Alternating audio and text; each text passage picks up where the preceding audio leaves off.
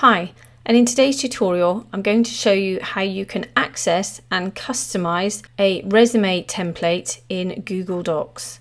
So sign into Google Docs and then come over to template gallery and just click and if you scroll down you'll see CVs or resumes. You can choose from any of these. Let's just click on the first one and now you're free to edit this resume. Now, for those of you who've never edited any templates before, it's quite simple. I'll just go through the different elements. So as you hover over different parts of the resume, you'll see that various little menus appear. And that's because the whole of this particular resume is a table. So if I click anywhere on my table or resume, go over to table options.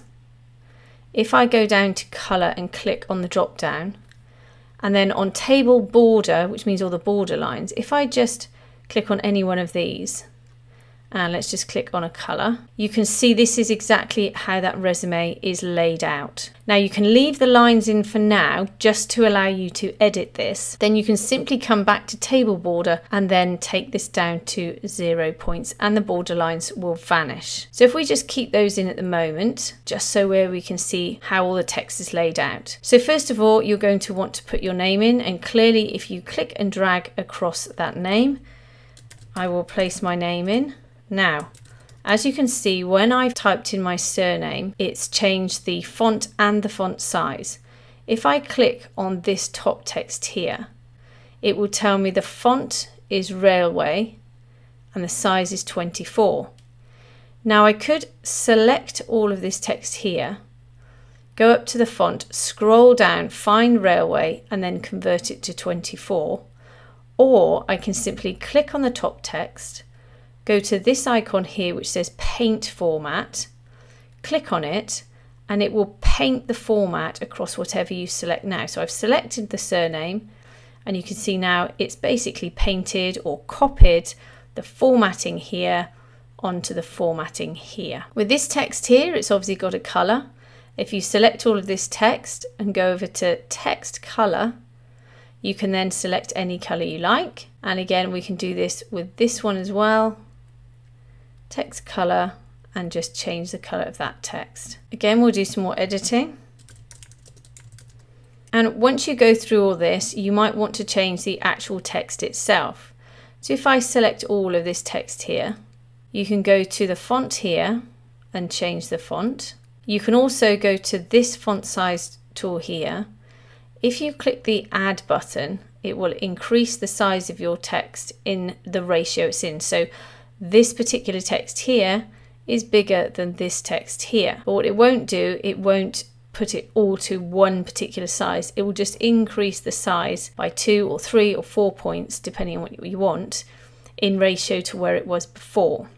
So that's another thing that you can do. These lines here are actually images. So if I click on it, you can tell it's an image because if I hover over these three dots, it says image options. If I click on it, it gives me options to size and rotate it, adjustments, or all image options. If I click on all image options, I can go over to here and I can make some adjustments. However, if I go to recolor, it says no recolor, and that's because this is basically a JPEG of a black square. So if I pull this down, you can see it's simply a black square. However, if you wanted to recreate something like this, you can simply do it another way. I click here and just remove that, if you go to Insert, Drawing, and go to New, you'll have this little dialog box here. Simply go to Actions, just go to Shapes, click Shapes, and then the rectangle.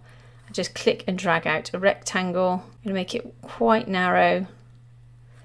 And then the border lines are already black, and the fill color here we change to black and then we just click save and close. And as you can see, we've got that line just there. Now it's a little bit thick, so if you click on it and want to make adjustments, just go to edit, go back to adjustments, click on it, and we can reduce the size a little bit more, save and close, and you can see it's made that adjustment. So you can replicate these lines if you want to, but the added benefit of doing it this way is you can of course when you edit it, click on it, you can of course change the color to any color you like. Let's change the border color and then click save and close. If you want to add another row, click on the row above, go to this add symbol here and you can see it says insert one row below.